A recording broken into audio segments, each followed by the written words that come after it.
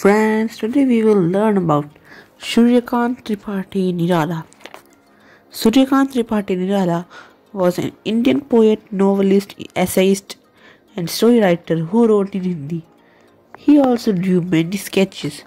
His father, Pandit Ramasagar Tripathi, was a government servant and tyrannical person.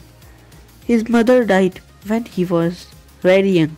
Nirala was educated in a Bengali medium at the Mahishadal Raj Hind High School at Mahishadal, Purba Medinipur. However, after passing the matriculation exam, he continued his education at home by reading Sanskrit and English literature. Subsequently, he shifted to Lucknow and thence to village Garhakola in Unnao district, to which his father originally belonged to.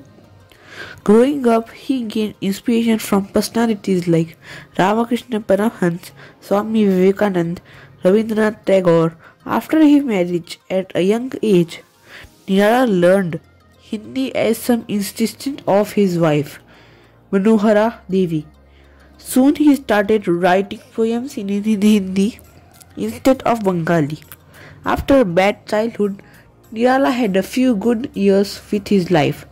But this phase was short lived as his wife died when he was 20 and later his daughter, who was a widow, also expired.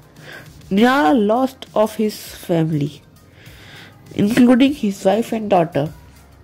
In 1918, Spanish flu influenza outbreak. He also went through financial troubles during this time. During the phase, he worked for many publishers, worked as a proofreader and also edited publication including Matwala and Samanvaya. Many of Nirala's poems had been translated by later scholars David Rubin which are available in collections. A Season of Earth Selected Poems of Nirala Columbia University Press 1977 The Return of Saraswati Four Hindi Poets Oxford University Press 1993 and of Love and War a Chayavad Anthology Oxford University Press 2005 Nirala Atmahanta Ast with critical analysis of his work written by Dudhnath Singh.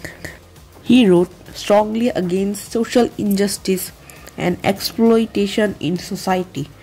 She, since he was more or less a rebel, both in a form of content, expectance didn't come easily. What he got is a plenty was a ridicule and diversion. All this may have played a role in making him a victim of schizophrenia in his later life and he was admitted to Central Institute of Physiotherapy, Ranchi. Nirala died in Allahabad on 15 October 1961. The world of Hindi literature is remarkable for ideology and aesthetic division. But today, the same reviled Nirala is one of the very few people in Hindi literature who are admired and respected by almost all across all divisions. Some of the works of Suryakant Tripathi is Lily, Nayapatti, Parimal, Anamika, Bela.